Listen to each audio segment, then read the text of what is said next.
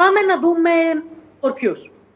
Λοιπόν, εδώ βολεύει η θέση του Ερμή. Είναι σαν ένα ζώδιο του νερού, όπως ε, είναι και το δικό σας. Άρα βολεύει σε οτιδήποτε αφορά πνευματική εργασία, οτιδήποτε αφορά τον τομέα των σπουδών, το εμπόριο, τα ταξίδια, όλα αυτά από εδώ και κάτω με κάποιο τρόπο ευνοούνται περισσότερο και η κρίση σας θα είναι πιο ας πούμε ξεκάθαρη, το μυαλό θα δουλεύει σε καλύτερους ε, ρυθμούς και νομίζω ότι μπορείτε να ευνοηθείτε και περισσότερο σε ό,τι αφορά τις δοσοληψίες σας. Μην ξεχνάμε ότι ο Ερμής έχει να κάνει με τις καθημερινές δοσοληψίες και την επικοινωνία που έχουμε με τους ανθρώπους. Δεν εννοώ μόνο τις οικονομικές δοσοληψίες, εννοώ γενικώ τις επαφές με τους άλλους, τις συζητήσεις που κάνουμε με τους ανθρώπους της δουλειάς μας ή με τους ανθρώπους που είναι στο περιβάλλον μας.